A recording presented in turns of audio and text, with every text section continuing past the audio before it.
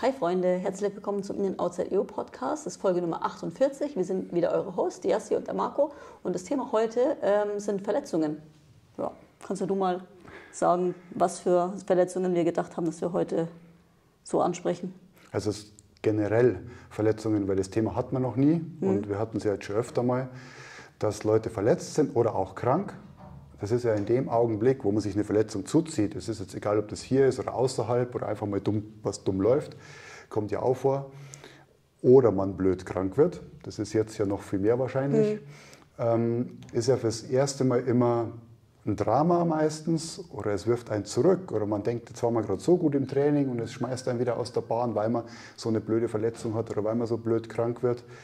Und einfach diese Sichtweise mal zu nehmen, dass es nicht nur negativ ist, sondern dass es meistens auch eine Chance ist, was besser zu machen. Ja, und vor allen Dingen aber auch, wenn du es verkehrt angehst, dann dreht sich die Spirale eigentlich immer weiter nach unten. Das heißt, du kommst aus dem Strudel ganz wenig raus. Ja, jeder kennt es, du, du warst krank und dann ähm, irgendwie fängst du früh an. Entschuldigung für die Hintergrundgeräusche, aber Die, Post, arbeitet gerade. Ja, die Post eskaliert gerade extrem. Machen wir das vielleicht nochmal kurz ab oder du schneidest es raus nachher. Nee, wir tun ja nicht mehr, wir machen ja kein Censorship Nee, im Podcast. passt schon. Ja, okay. Ähm, was soll ich sagen? Genau, dann ist es wie so eine Art Spirale, die sich dann immer weiter nach unten dreht. Dann kommst du einfach nicht mehr auf die Beine und ähm, jeder kennt es äh, wahrscheinlich auch, also ich kenne es viel von Freunden von mir, die sind dann krank und dann wieder nochmal drauf krank und nochmal drauf krank, weil irgendwie Und dann richtig krank. genau gehen sie dann zu früh in die Arbeit oder zu früh zum Sport oder dann kommt halt irgendwie doch noch irgendeine komische Dummheit hinterher. Meine Güte, jetzt eskalieren sie ja wirklich. Ja, vor allem mittags, gell? Ja, komisch. Ja, aber also ich glaube, genau diese Dummheiten kommen eben, weil man sich denkt, ja, es passt mir gerade nicht, mir reichen zwei Tage zum Auskurieren oder ich habe eine Verletzung, mir reicht eine Woche Pause und dann mache ich wieder weiter. Und das, glaube ich, kommt eben von dieser Einstellung, ja, es passt mir nicht, es ist was Schlechtes für mich, ich kann das nicht positiv nutzen. Und ich finde, man kann jede Verletzung oder auch jede Krankheit nach dem Anfangsschock, sage ich mal, wo man halt merkt, okay, es passt irgendwas nicht, schon nutzen, um darüber nachzudenken, wie kann ich diese Situation jetzt positiv gestalten. Mein ganz blödes Beispiel, ich hatte vor, äh, blödes Beispiel, reales Beispiel, hatte vor fünf, sechs Jahren ist mir ein Stück weißer Hautkrebs an der Schulter weggeschnitten worden. Gar nichts Dramatisches, war nur ein kleiner Schnitt, aber ich hatte eine Narbe. Und hattest, konntest du nicht curlen. Und ich konnte halt den Arm dann, solange die Fäden drin waren, nicht hernehmen und so weiter. Das, wo du so gerne curlst, Genau. musstest du leider Squats Naja, es machen. war ja Schulter. Das war ja Schulter. Ja, Squats gingen dann zum Beispiel auch nur hinten, weil eben vorne die Naht war. Aber ich habe in der Zeit halt alles mit dem linken Arm gemacht. Und das halt gleich als Chance gesehen, weil als Rechtshänder ist der rechte meistens eh stärker und gut in Schuss. Und dann habe ich halt die vier Wochen, glaube ich, wie es waren, genutzt, alles mit der linken Hand zu machen. Dass ich dann Dumbbell Thruster mache mit links und so weiter. Und einfach dieses Mindset ändern, das sind Sachen, die man nicht verhindern kann. Eine Verletzung ist dann passiert, so dumm wie es ist. Und dann kann man sich überlegen, will mir das Universum vielleicht damit was sagen, dass mir jetzt das passiert ist? Ist es vielleicht ein Wink mit dem Zaunpfahl? Ich sollte mich um meine anderen Baustellen mal kümmern. Vielleicht habe ich irgendwelche extremen Dysbalancen, extreme Mobility-Einschränkungen, die vielleicht dazu beigetragen haben, dass ich mich verletzt habe. Wenn es jetzt kein blöder Unfall ist zum Beispiel. Ja, ich würde das eher anders umschreiben. Ich würde sagen, habe ich vielleicht für irgendwelche ähm, Dinge, die ich machen will, die Range of Motion nicht. Also ich find, oder ja, irgendwelche Bewegungsmuster, die dir halt fehlen, die dich dann, sage ich mal, ein bisschen bereichern würden, wenn du sie hättest. Ich glaube, das Schwierigste an so Verletzungsthemen ist, ähm, dass die Menschen schlecht einschätzen können, inwieweit du da wirklich jetzt, sage ich mal, Pause machen musst oder wie lang gewisse Dinge einfach auch brauchen, bis du sie wieder in Anführungsstrichen auskuriert hast. Vielleicht können wir da noch ein bisschen das ist, ist auch wahrscheinlich von Person zu Person sehr verschieden, je nachdem halt auch, was es auch für eine Verletzung ist. Ähm, keine Ahnung, Meniskus zum Beispiel im Knie. Ja, dann ist es erstmal, okay, das ist da, Knie ist dick. Dann ist ja meistens abklären, muss operiert werden, muss was rausgeschnitten werden oder kann man es so lassen. Und je nachdem ist es halt ein ganz anderer Verlauf. Aber es heißt ja trotzdem nicht, ich kann mich nicht gar nicht bewegen. Also Alltag muss ich auch irgendwie gestalten. Das heißt, wenn ich eine Verletzung oder eine Krankheit habe, wo ich einen Alltag hinbringe, dann habe ich auch immer die Chance, zumindest etwas sportlich zu tun. Sportlich mir groß definiert einfach als Bewegung. Ja. Weil ich glaube, das sollte jetzt inzwischen jedem klar sein, dass sechs Wochen Pause machen, nur auf der Couch liegen und nichts tun, Nee, nichts besser macht. Nee, dann gehst du lieber spazieren oder Genau. irgendwas. Ja. Und wenn man jetzt am Knie was hat, dann kann man immer noch Oberkörper trainieren. Wenn man oben was hat, kann man immer noch Beine trainieren. Wenn man krank war und irgendwie, angenommen jetzt mal auch Corona hatte, wo man einfach lang nicht hochdrehen kann, dann ist es ja gut, dann kann man sich ja eher mal auf die niedrigere Ausdauer besinnen und Grundlagenausdauer machen, anstatt immer nur Vollgas zu fahren. Ja. Also es gibt immer sozusagen eine Chance, die aus dieser Verletzung oder Krankheit besteht. Das stimmt. Ja, weil du gerade Knie angesprochen hast, bei vielen Leuten, wenn es dann zum Beispiel auch die Sehne ist, ähm, macht es ja dann auch Sinn, dass du dann, wenn du Sport machst, auch dein Reha-Zeug machst. Also zum Beispiel irgendwelche exzentrischen Sachen oder was du auch immer du dann halt verschrieben bekommen hast, weil gerade so bei Sehnensachen ist in den seltensten Fällen komplette Ruhe geben ähm, das Heilmittel dafür. Also das wird davon meistens nicht besser. Ja, vor allem, wenn du halt gar nichts machst und ein Gelenk mehr oder weniger stilllegst, atrophieren ja auch die Muskeln rundum. Das heißt, das, was dir vorher Ja. Stabilität gegeben hat, ist noch dazu auch noch weg. Ja, Ja. voll. Ja, Hast du mal gröbere Verletzungen gehabt, die dich rausgeschmissen haben aus dem Sport, den du zu der Zeit gerade gemacht hast? Also bis auf das, die Geschichte habe ich ja schon mal erzählt, dass ich ähm, mal ausgerutscht bin auf dem Glatteis und mir dann sozusagen, ich glaube, den Ellbogen gebrochen habe. Ob es jetzt wirklich so war oder nicht, kann ich echt nicht sagen, weil ich ja nicht beim Arzt war. Aber ähm, ich habe es dann erst Jahre später ähm, halt mal anschauen lassen. Und ja, da sind so ein paar Knochensplitterchen halt drinnen. Ähm, könnte ich mir schon vorstellen, dass das eben von damals so gewesen ist. Und das hat mich natürlich so mal mehr, mal weniger so rausgenommen, wenn ich es halt mal mit irgendwas ein bisschen dumm übertrieben habe. Hm, Ja, also insofern schon. Wobei ich halt mittlerweile festgestellt habe, dass meistens, wenn du halt irgendein Areal hast, was so ein bisschen zwickt, kannst du es eigentlich am leichtesten vermeiden, wenn du dich darum kümmerst, warum ist das Ganze. Also in den seltensten Fällen ist es jetzt, sage ich mal, zum Beispiel im Fall vom Ellbogen, ähm, ist im seltensten Fall tatsächlich der Ellbogen schuld, sondern dann halt meistens irgendwie komisches Kompensationsmuster aus der Schulter oder ein Handgelenk oder was weiß ich was. Ähm, ja, haben wir ja die Folge auch mit der Foni gemacht, ähm, mit der äh, ja, einfach gesamtheitlichen Betrachtungsweise so vom Körper. Von daher gesehen. Glaube, man gut, muss halt herausfinden, was macht seinen Job nicht. Genau. So. Aber auf den Ellbogen fallen ist natürlich ausrutschen. Dann ist es Das ganz ist klar der ganz Ellbogen. klar so, Genau, genau. aber ich glaube, erst heute früh oder gestern noch einen Tweet von einem gelesen, der sich so, der Physiotherapeut ist, auch CrossFit gemacht hat und Fitness Pain Free Mhm. nennt sich der. Und er sagt, dass 90 Prozent aller Kniebeschwerden entweder vom Sprunggelenk oder von der Hüfte zum Beispiel kommen. Ja, also dass klar. das Knie ganz, ganz selten Fuß könnte ich ist. mir auch viel vorstellen. Einfach, dass ähm, man sieht es ja voll oft auch, wenn jetzt gerade nimmt man so diesen Parade-Crossfitter, ähm, wo halt, wir haben oft schon drauf rumgeritten, wo jede Korrektur ist einfach nur, stell dich auf die Ferse, stell dich auf die Außenkante vom Fuß und nimm das Knie raus. So ähm, haben wir schon mal gesagt, was hat das mit dem normalen Alltag zu tun? Ist dein Knie da immer draußen? Ist dein Fuß immer nur auf der Außenkante? Wenn ähm, die Natur gewollt hätte, dass wir immer nur auf der Außenkante alles machen, dann hätte sie uns solche Füße nicht gegeben Oder wir hätten alle O-Beine. dann hätten wir ganz andere Füße. Das heißt, es ist auch komplett normal, dass man den Fuß wirklich auch auf der Innenseite dann belastet, wenn es sich halt so gehört. Ähm, von daher gesehen, ja, Ein Beispiel Ist schwierig. im Sand gehen. Da muss das ja, Ja. in alle Richtungen funktionieren. ja, voll. Ähm, und da würde ich sagen, Paradedisziplin, genau bei sowas, haben ja auch dann viele Knie. Vielleicht könnte das ja zusammenhängen. Ja. Was ich nur zu meinem Ellbogen vorher auch sagen wollte, ich habe mir ich habe mich natürlich dann da auch dabei ertappt, dass ich gewisse Kompensationsmechanismen schon einfach mir angewöhnt habe. Einfach dadurch, dass er dann wehgetan hat, logischerweise nach dieser akuten Verletzung, war er nie so richtig ganz gestreckt. Und ja, dann bin ich halt einfach durch die Welt gegangen mit einem nicht ganz gestreckten Ellbogen und habe dann natürlich auch damit angefangen, so zu trainieren. Und das war dann für mich sozusagen der Normalpunkt, aber irgendwann habe ich dann schon auch gemerkt, so ja, okay, ähm, war jetzt zwar nie die, also wie soll ich sagen, so richtig mobil in der Schulter war ich diesbezüglich nicht, aber ich habe mich auch sehr wenig damit beschäftigt, wie meine Schulter steht am Anfang. Und das war jetzt nicht unbedingt förderlich. Es ist normal, glaube ich, wenn du im Training anfängst, mal, wie viel Gedanken macht man sich groß. Ich habe das Glück gehabt, dass ich mich nicht groß verletzt habe, weil ich es halt nie übertrieben habe. Aber ich habe dann schon gemerkt, so okay, wenn es halt alles mal ein bisschen besser laufen muss, dann muss ich mich schon auch mal damit beschäftigen, dass äh, ja, ich mich mit meinem Bewegungsmuster auseinandersetze und mit meiner Position. Das haben wir ja auch schon öfter angesprochen, dass wenn du es im Alltag ja nicht merkst, weil du nie die Hände über den Kopf nimmst, merkst auch gar nicht, dass deine Beweglichkeit da nicht reicht.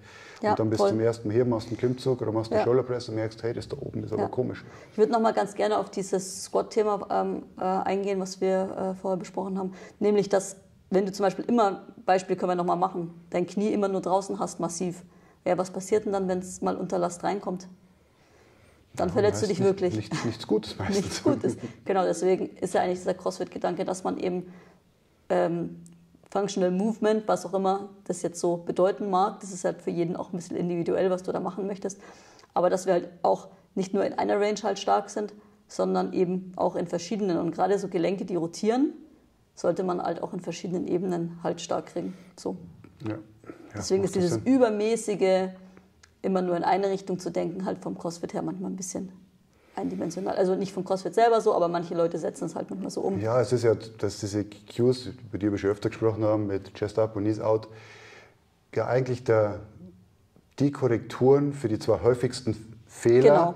die man sieht, äh, die gemacht wurden, sind das die häufigsten Cues, dass die Knie eben reinkommen, dass man eben in sich zusammenfällt Wo- bei einem Squat als Mensch. Und dann ist das Erste, okay, es sollte neutral sein für die Bewegung.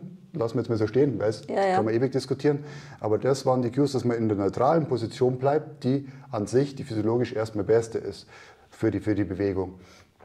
Aber durch das, dass man es dauernd den Leuten zuruft, übertreibt man es. Wenn man jetzt sieht, wenn, die, wenn ganz viel, gerade bei den Amis mit diesen Knees Out Chest Das wollte ich gerade trainiert sagen. wird, dann sieht man, wenn die squatten von außen, dass das Knie außerhalb der Füße ist. Katastrophe. Da ist das Knie quasi außerhalb der Fußsohle und außerhalb den Fersen weg.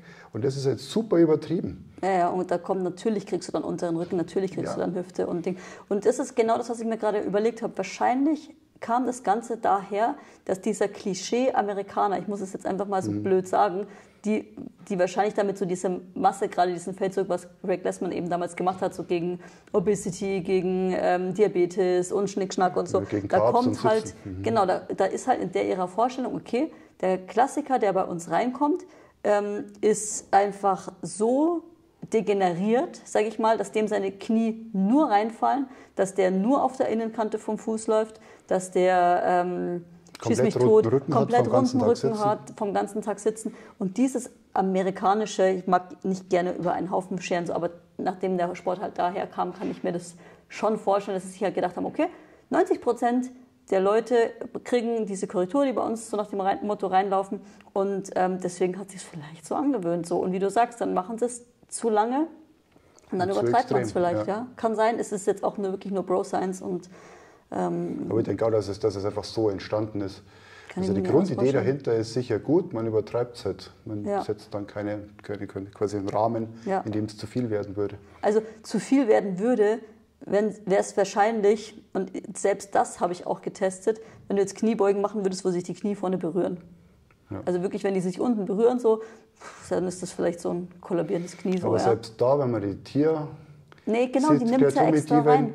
Die, wenn schwer beugt, ist es fast so. Ja, aber die nimmt es im letzten Drittel, man sieht, sie nimmt es extra rein, damit das Knie wieder über den Fuß steht und sie damit, Ja. also beim Front Squat ist bei ihr massiv vor allen Dingen, dass sie es dann wieder hochbekommt und die bewegt da ganz ordentliche Lasten. Also auch ähm, Und es scheint halbwegs gesund zu sein, weil sie macht es jetzt schon ziemlich Ja, ja. lang. Deswegen, das ist ja das, was ich sage, wenn der Körper die Range of Motion nicht kennt und plötzlich kommt eine Last drauf, dann ist klar, du verletzt dich. Aber wenn du immer in dieser Range auch trainiert hast, und ja, das ist ja genau das, was wir unserem Körper geben wollen, ähm, verschiedene Optionen, damit halt, wenn was ist, haben wir auch schon mal gesprochen mit dem Fallen oder was, wenn du halt viel Gymnastics gemacht hast, wenn du dich im Handstand bewegen kannst, wenn du halt auch mal weißt, wie du umfällst, naja, wenn dann wirklich mal ein ernster Fall ist und der Boden ist hart, dann weißt du wenigstens, wo du bist. Das ist eigentlich genau das gleiche Beispiel. Du hattest halt vorher viele Optionen und wenn es halt drauf ankommt, dann kannst du die nutzen. Hast eine Option mehr. Das Ja. ist das, was wir mit Bewegungserfahrung ja schon oft angesprochen Und dann haben. hast du halt deinen Puffer gegen Verletzung. Genauso auch, was wir gesagt haben mit dem immer mal wieder Wiederholungen im Tank lassen, nicht immer mal all out gehen, tatsächlich vielleicht auch mal all out gehen bei gewissen Dingen, wo du es wirklich nach Plan machst, weil auch das kann dir mal irgendwie passieren, dass mal Das so ist, ist. Ja, Alltag Ja. ist ein komisches Ding. Ja, ja und generell, um nochmal auf die Verletzungsthematik Ja. zurückzukommen, wenn ihr irgendwas habt, sei es krank, sei es Verletzung, sei es sonst irgendwelche komischen Sachen, die euch vermeintlich vom Training abhalten würden, fragt einen von uns. Sagt Mhm. uns das, wir finden eine Lösung. Wir finden auch in den Stunden eine Lösung. Habt da keine Scheu zu denken, ja, aber ich halte dann alle auf und immer muss Rücksicht genommen werden. Nein, lieber ihr kommt her und macht was, als dass ihr irgendwann ganz raus seid und euch gar nicht mehr bewegt. Ja. Also mein, der Engine war der Alex ja ab und zu, der ist ja vom Radl gefahren worden, hatte mit der Halswirbelsäule was. Ja, dann nehme ich natürlich Rücksicht und dann wird es mit der Zeit auch wieder besser. Nichts Ja, zu klar. trainieren ist immer die schlechteste Option. Ja, das habe ich gerade dick, wenn du irgendwelche Leute fragst, so, hey, ist irgendwie alles gut und so, und dann siehst du schon so komische, schmerzverzerrte Gesichter und dann wird sich irgendwie an die Schulter oder was weiß ich was gelangt. So ein Training, das darf nicht sein. Also das ihr kommt ja, damit es euch besser geht. Genau. Es ist sicherlich wirklich nicht so, dass man unter Schmerzen trainieren sollte. Ähm, ja, und von daher gesehen, da muss man sich dann einfach auch mal so Gedanken machen, macht das Sinn. Auf der anderen Seite kann ich dir auch echt sagen, ich habe ja auch mal so ein, ich weiß nicht, war so eine Art Workshop oder Fragerunde da, eine Firma da hier ums Eck, die hatten so ein, ich glaube, es ging um Frauen im Arbeitswesen oder was. Und da war eben auch so ein Teil, wollten sie halt über Sport so einen kleinen Stimmt, Vortrag oder was weiß ich, ist das schon ewig her. Und die haben danach alle, haben die äh, Frauen da super, super viele Fragen gehabt. Und diese Wehwehchen, mit denen die angekommen sind, die haben, ich habe sie wirklich gefragt, keiner von denen hat Sport gemacht, aber die Wehwehchen, die waren so teilweise, ähm, ja, als würden sie Sport machen und falsch trainieren. So, weißt du, was ich meine? So, keine Ahnung, Mhm. Ja, falsche- Klassiker, falsche so Bewegungsmuster. ähm, Schulterimpingement, was dir quasi jeder zweite Arzt halt irgendwie diagnostiziert, wenn du irgendwie den Schulter hast. ja, Hand über Kopf nimmst und ähm, dann so einen Engstand schaffst und dann tut es halt weh, so auf die Art und Weise, ja. Dann habe ich mir gedacht, okay, denen geht's auch so und die trainieren halt überhaupt nicht. Ja, sie trainieren nicht, haben aber schlechte Positionen. Und da kommen wir wieder So. zurück. Wenn ich den ganzen Tag so an Ja, der ja. Maus sitze, ist das Impingement unvermeidlich. Ja, Wenn ich, den ganzen, wenn ich dann, also wenn man das Paradebeispiel nimmt von Männern, die dann vielleicht trainieren, sitzen auch den ganzen Tag so und Ja, gehen dann noch zum Benchen sehr gut. und machen es dann durchs Training. Ja, und quasi dann durch das Training ihr Impingement. Genau, was die anderen. einfach nur das haben. Ja. Genau. Wenn du jetzt wenigstens noch mit der Kurzhantel bench, dann kann ich sagen, okay, dann hast du wenigstens noch hier die Rotationskomponente und äh, bewegst die Schultern, sage ich mal, gegengleich. Aber wenn du dann auch noch alles festmachst und dann noch äh, gegen die Langhantel arbeitest, dann ist das natürlich vielleicht nicht unbedingt. Also ja, dann machst du ja genau wieder das, du gibst deinem Körper mehr von dem, was er eh schon hat und absolut gar nichts von dem, was er eigentlich nie kriegt und was er auch mal halt bräuchte. Thema Disbalance, was du vorher gesagt hast. Ich mag diese ganzen Worte nicht so, weil es wird Ja, halt immer mal gerne so in den Raum ja. geworfen. Und es ist einfach auch so, dass die Menschen nicht symmetrisch sind. Da haben wir uns auch schon öfter drüber Ja, unterhalten. wir, wir haben eine Händigkeit, zumindest die meisten Leute haben eine Händigkeit. Ganz, Ja. ganz wenig, die wirklich beidarmig alles machen können. Ja gut, und wenn du überlegst, wir bestehen ja aus Druckverhältnissen im Körper. So, und die sind ja logischerweise, weil unsere Organe auch nicht hundertprozentig symmetrisch sind, ähm, ist es ja auch komplett logisch, dass es auch nicht alles symmetrisch sein kann. Weil wir ja, wie gesagt, aus Druckverhältnissen ja auch bestehen und mit unserer Umwelt interagieren. Wenn man es mal aus der Sichtweise betrachtet, ist es ja auch gut, dass wir asymmetrisch sind. Ja, und die meisten Sportarten, würde ich sagen, sind auch asymmetrisch. Ja. Also da ist CrossFit, wenn man es jetzt nur links-rechts sieht, ja eine der wenigen Sportarten, Mhm. die fast komplett symmetrisch ist. Weil selbst wenn man einarmige Sachen macht, macht man links-rechts immer gleich viel. Aber wenn jetzt aus, aus dem Volleyball so, meinst du, ist ja. logischerweise meine rechte Seite durch die Schlagbewegung, muss ich mehr rotieren können, muss die Schulter mehr strecken können. Das heißt, ich habe da schon eine eingebaute Disbalance.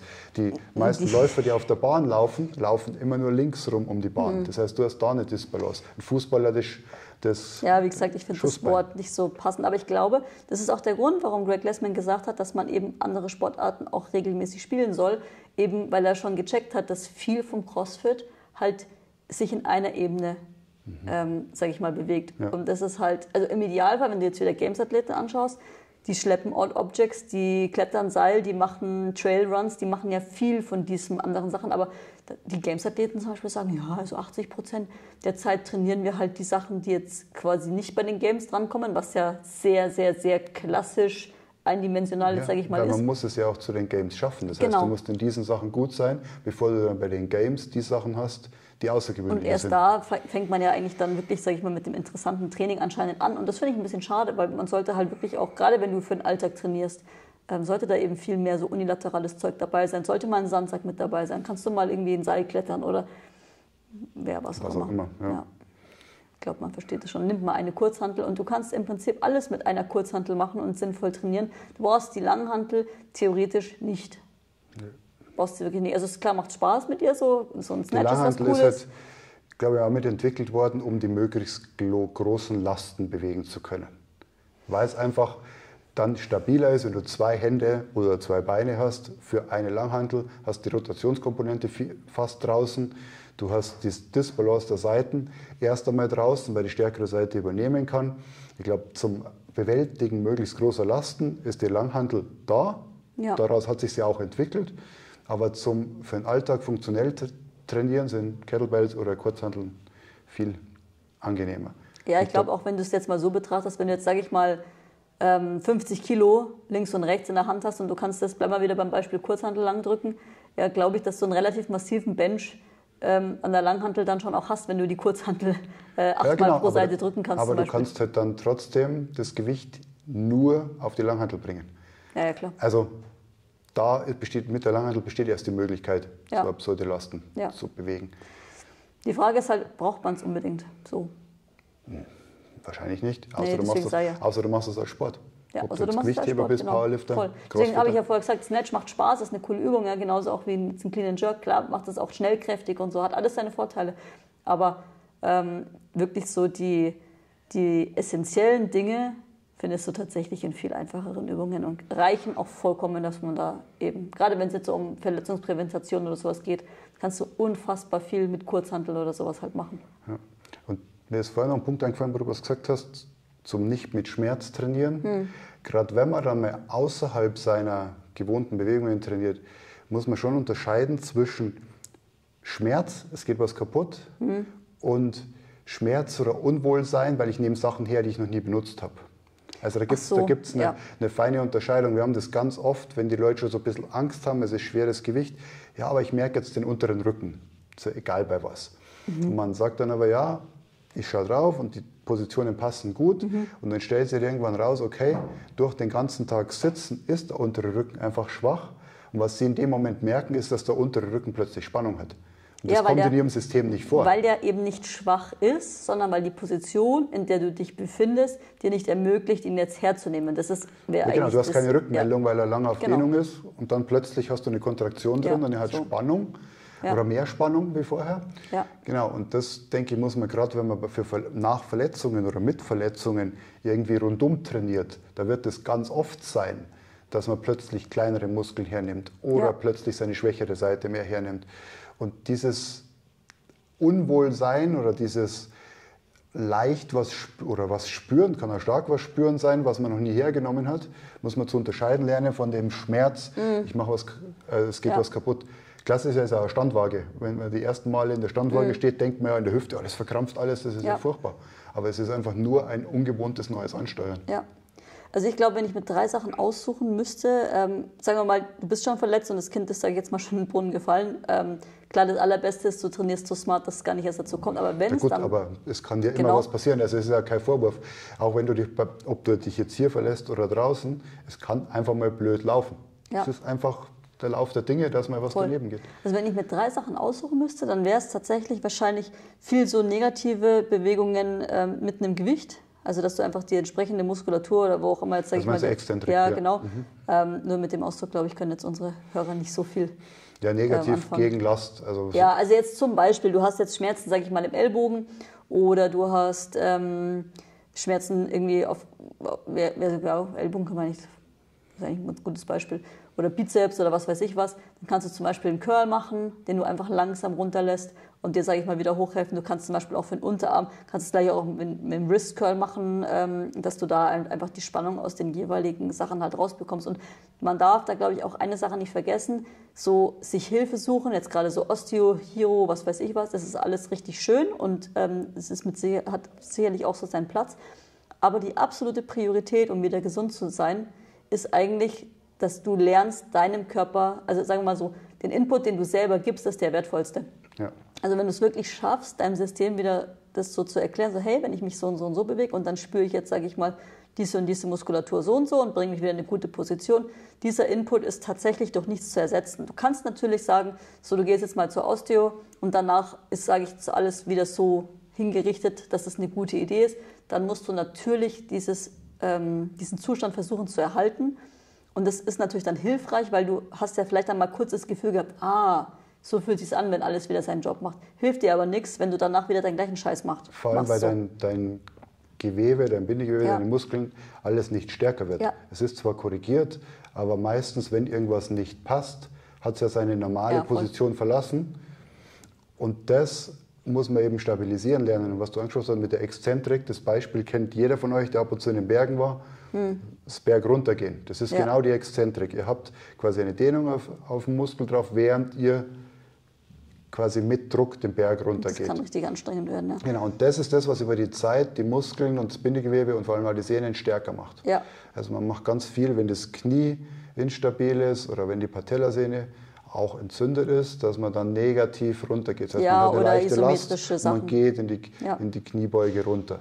Also einfach dann, sage ich mal, auch an einer Stelle Oder bleiben. Oder so. Klassiker, wenn man Pull-ups lernt, oben anfangen und langsam exzentrisch Ja, runter. da halte ich immer nicht so viel davon, weil. Ja, ob es jetzt zum Ja. Pull-up lernen gut ist oder nicht, aber es ist einfach mal zum Kontrolle kriegen und das, das Gewebe dran zu gewöhnen, weil exzentrisch, also ich erinnere mich dunkel im Studium, dass man exzentrisch, glaube ich, 100 Prozent, 130 Kannst Prozent von dem hat, was man konzentrisch Genau.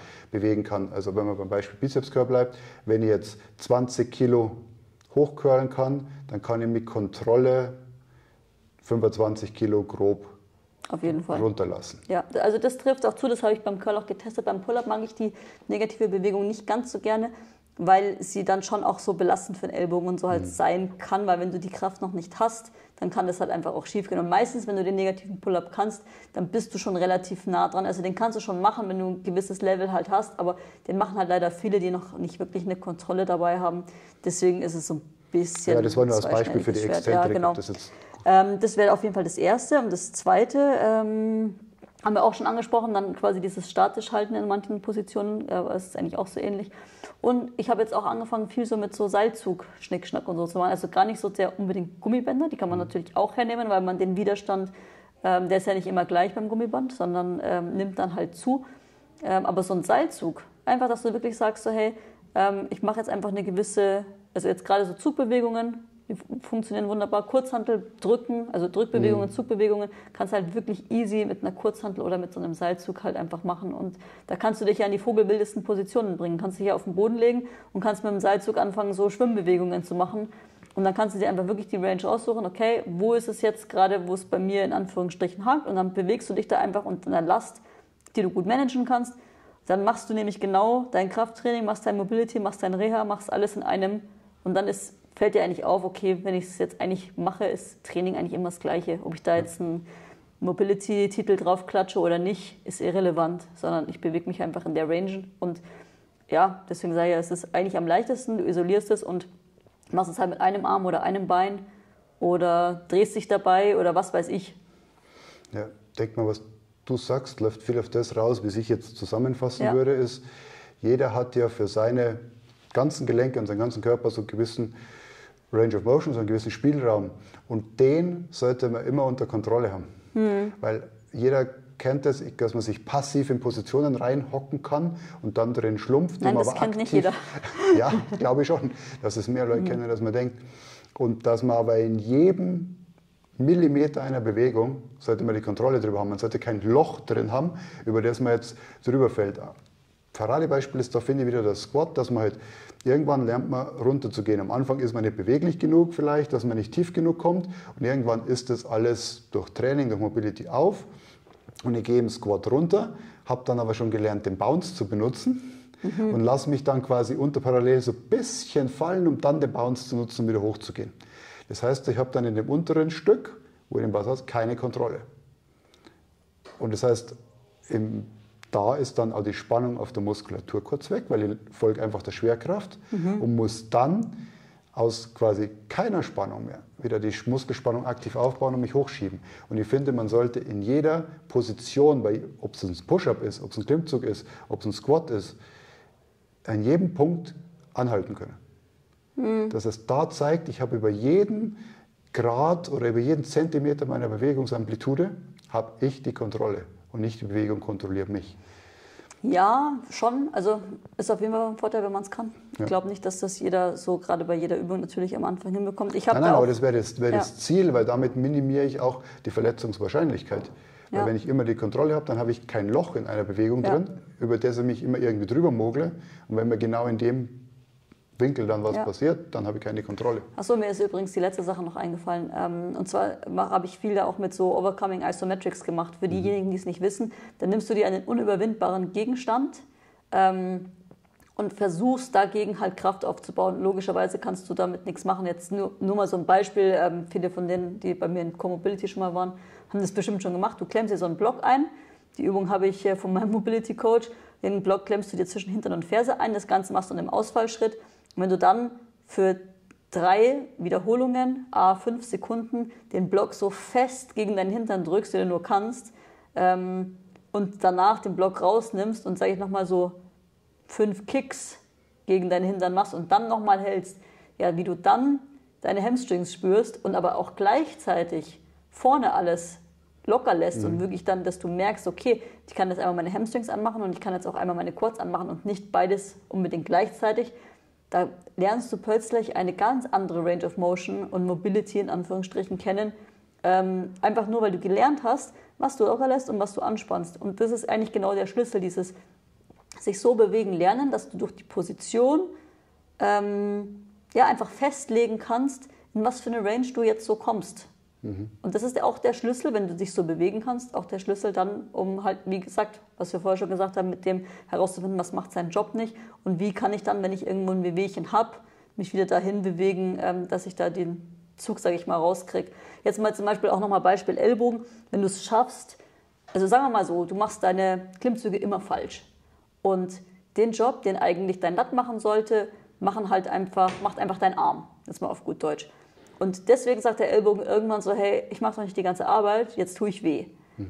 Dann ist es ja logisch, dass wenn du lernst, deine Schulter richtig im Raum zu bewegen und dann wieder mehr Last auf dem Latt kommt, dann hat der Ellbogen sozusagen Deload. Einfach nur, Fair du machst genau die gleiche Arbeit wie vorher, aber der Ellbogen hat frei, in Anführungsstrichen, und dann kann er wieder gesund werden. Also so stelle ich es mir ungefähr vor. Du machst eigentlich die gleiche Sache, aber dadurch, dass du halt wieder alles ein bisschen umschichtest und jeder lernt, seinen Job zu machen, ähm, ja, so ist es halt wahrscheinlich in der Firma auch. Einer fährt in Urlaub und alle anderen kriegen es ab und der eine arme Trottel fährt nie in Urlaub. Der muss immer alles Das ist ausbauen. der arme Ellbogen, genau, in dem Fall jetzt. Ja, ich glaube, ähm, können wir es eigentlich auch gut sein lassen. Ihr habt wahrscheinlich eh die Hälfte der Folge nicht hören können, weil die Post so laut war. Ich bin gespannt, ob die überhaupt brauchbar ist. Ja. Ich glaube schon. Genau. Genau. Wir fliegen ja demnächst weg. Ich würde mich freuen, wenn ich wieder Wir, zurück... wir sind schon weg. In dem Moment, wo ihr das so. hört, ist es, die Folge kommt genau an dem Wochenende raus, wo genau die Wettkämpfe stattfinden. Okay, also so im Sinne von zurück in die Zukunft. Genau. Was ich aber mir wünschen würde, wenn wir dann quasi aus Aruba wieder zurückkommen, dass ich endlich mal die Bewertungen auf Spotify ein bisschen Nach hoch. oben gehen. Ja, das wäre ein mega geiles Ziel. Also äh, würde mich echt freuen, wenn ihr den Podcast auf Apple Podcast oder Spotify hört, dass ihr da mal ein paar Bewertungen hinklatsches einklickt. Das schafft ihr schon. Ich glaube auch.